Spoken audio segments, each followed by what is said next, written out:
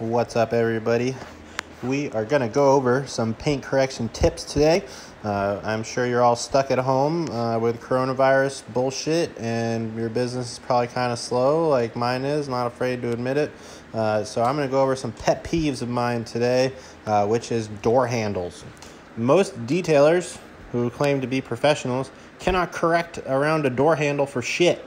And I always see tons of defects. So I'm going to show you guys how to uh, properly correct around door handles uh, with three different tools here. I've got my 6 inch uh, Mark 221 from Rupes. I'm going to use my 3 inch from Rupes and also the iBrid. So uh, you might find yourself in a situation uh, like I used to when I was younger where I only had this polisher. So I am going carefully around the door handles uh, angling the polisher using the edge of that pad to get as close to the door handle uh, as possible. So some shops take door handles off. I will if people pay me to, but generally I don't. Uh, it can be a pain in the ass. So you're gonna just carefully go around the door, just using the edge of that pad and don't be afraid, you might smack the door handle a little bit with the edge of your pad, but it's just going to leave some adhesive looking crap on there that's going to come off later. So don't worry if it accidentally happens. Just make sure you keep that pad spinning. Something like this can really make a car look that much cleaner when you deliver it to the customer, uh, especially because I have noticed that on a lot of cases, whatever side of the car the sun is on, uh, usually you'll get some reflection off of the door handle area. You know, everybody notices all the scratches in the actual door cup. You can see the swirls and defects around the actual handle uh, with if you don't get around it. So I just went around and cut uh, you won't really get much out with just foam on door handles, even though I do a lot of one steps. Uh, it does not work that great with the door handles. So, first step compound and microfiber pad, like you saw before, and now I've got my uh, yellow foam cutting pad, which I'm going over with Shine Supply's classic polish to kind of refine things. Uh, because this being a Toyota, uh, the it was uh, compound was sticking to the paint so I had to use polish so I could check my work uh, because I couldn't see anything underneath all the haze. So now I've got the three inch uh, Rupes machine here. Um, I've got it on about speed four and I'm kind of doing the same thing, just using the edge, uh, trying to get as close as possible. With this tool, it is a little bit easier because the throw is a little smaller and also the tool itself is a little bit smaller too. So it makes it a little bit easier to get there and this thing actually does have fair cutting ability as well so this can still be just as efficient as using the 21 uh, so if you have the smaller tool you should generally grab the smaller tool. It is always better to use the right tools to do the job.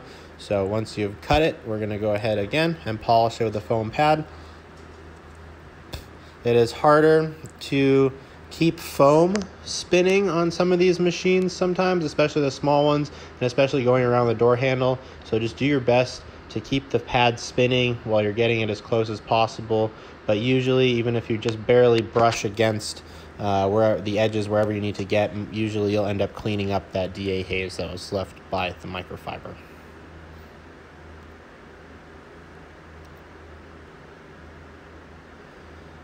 And last but not least, Got the iBrid. So of course this one's super easy to get close to shit with. Oh, the battery died. Had to go and get another one. I don't know why I included that clip in here, but whatever. Uh, so now a little bit once again easier to get closer because there's less bulkiness around the machine so you can really get that pad right up in there and you can actually get the iBrid a little bit further into the door cups as well. You also won't have to lift the pad off of the surface really because you won't have to there'll be some spots like right around those little edges where you're going to want to angle the pad but for the most part you can do uh, around the door handle with the Ibrid without having to have the pad leave the paint.